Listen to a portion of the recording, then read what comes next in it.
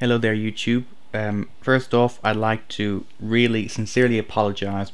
Uh, I meant to upload this um, video a very long time ago, but unfortunately I did something incredibly stupid, even by my standards, to my JTAG console in connection with XeLL Reloaded. I'm not going to say any more on that, but deeper if you're out there, you're probably about to plaster it over the comments. But yeah, it's about, what, 2, 2 a.m. here and I'm sitting here with an old Dell 4000 and my JTAG console and I'm flashing it over LPT. So you're guaranteed to get this video up tomorrow if not some point tomorrow night but regardless if you're watching this now you have it so let's cut to a time of the day when I'm not quite as tired and zombie like. Three, two, one.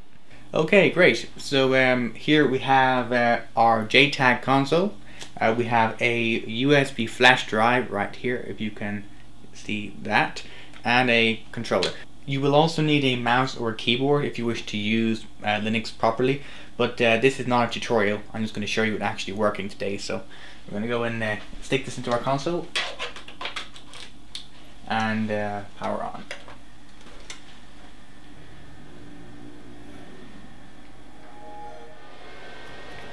Okay, we're in Freestyle Dash. We'll go to uh, Utilities, File Manager, open up our USB 0. On our USB 0 we have um, XeLL Launch. Inside the folder is the latest public release of um, XeLL Reloaded and um, back on the root of the USB drive we have our Linux distro right there and we have our uh, xenon.elf right there. So we're going to go and launch XeLL launch, run the XEX, and if we give it a moment, we should be seeing um, XeLL reloaded.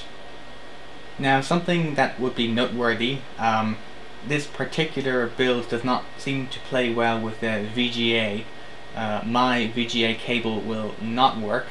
Um, I can get some kind of uh, output if I boot it up on components and switch over to VGA, however uh, straight to VGA doesn't work.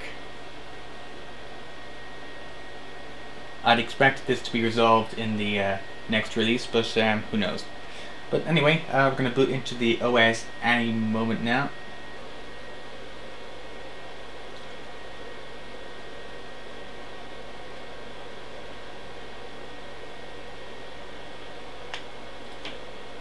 And here it goes.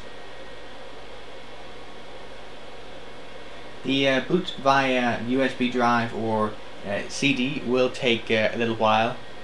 Obviously you're booting from a live medium so it's going to not quite be as fast or anywhere near as fast as a hard disk.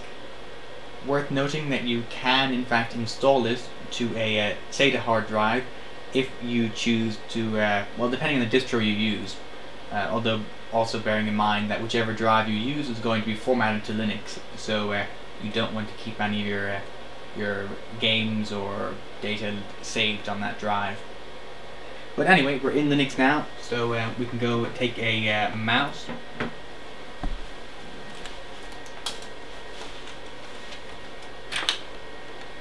And uh, plug it in there.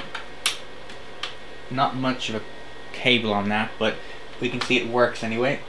We do have Firefox here uh, as well as um, full internet access over wired ethernet. Um, can't really go anywhere. I haven't got any bookmarks. Um, but uh, it does work.